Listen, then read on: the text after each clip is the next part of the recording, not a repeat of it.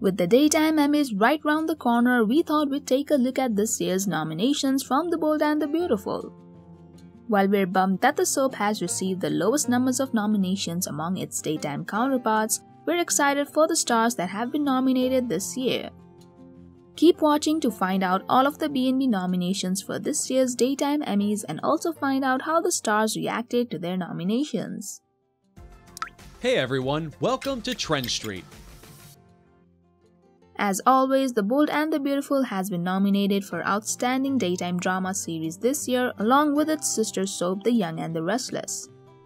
The Days of Our Lives spin-off Beyond Salem earned its first nomination this year in the category and will face off against Days of Our Lives, The Bold and the Beautiful, General Hospital and The Young and the Restless as the category again has 5 nominees for the first time since 2014. Last year, Jacqueline MacInnes Wood took home the Daytime Emmy for Outstanding Lead Actress for her addiction storyline. However, this year we don't see any nominations for The Bold and the Beautiful.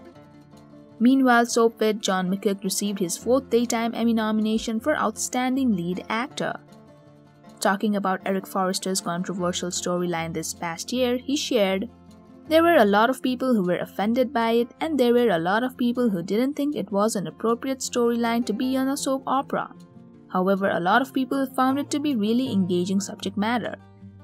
Another soap vid, Kimberlin Brown, is also nominated this year for Outstanding Supporting Actress, which is her second time being nominated in the same category. Kimberlin revealed that she's on top of the world and is proud to be nominated among the other wonderful women in the category. She went on to say, It's something that I was never sure would ever happen again for me, but the writing last year was just spectacular, as it is this year as well, and I was just excited to have a body of work that got me where I am today. Co star Aaron D. Spears has received his first nod in the category of Outstanding Supporting Actor for the scenes where he kept Thomas captive and confronted Bill. Having been in the game for so long and around a lot of Emmy nominees and winners, it's surreal for Aaron to have been nominated himself. He revealed that he has a warm feeling about this and is grateful.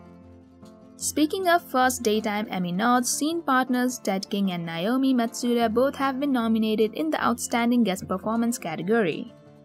Naomi revealed that she is grateful for Ted's guidance and is really excited to attend the ceremony in person this year.